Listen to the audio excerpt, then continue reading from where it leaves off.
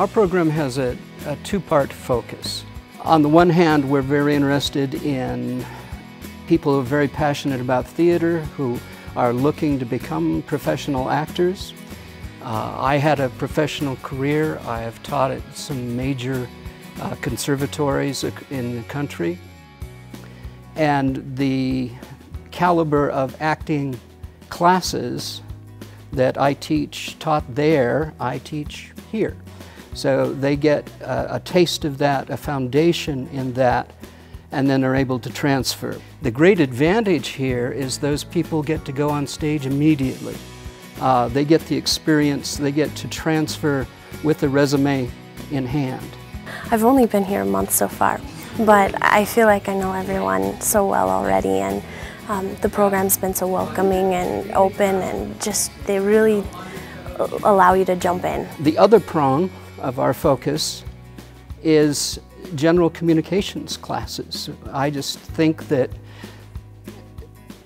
actor training and theater classes are the best communications classes on campus. I teach both advanced communication classes, speech classes, but I think the, the, the basic acting class is just a wonderful way to learn communication skills that are transferable into a number of different careers.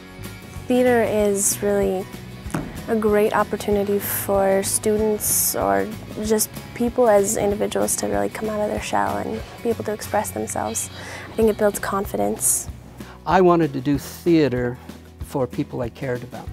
I have been an actor and director for going on 40 years.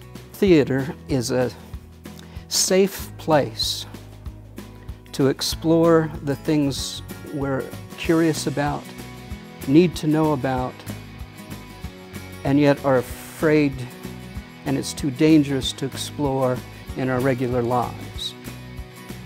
It provides a safe place to do that, where we can look at human conflicts, human behavior, we can empathize, we can relate, we can hopefully grow, and come to an understanding. So I wanted to be a part of a community that I could understand and care about.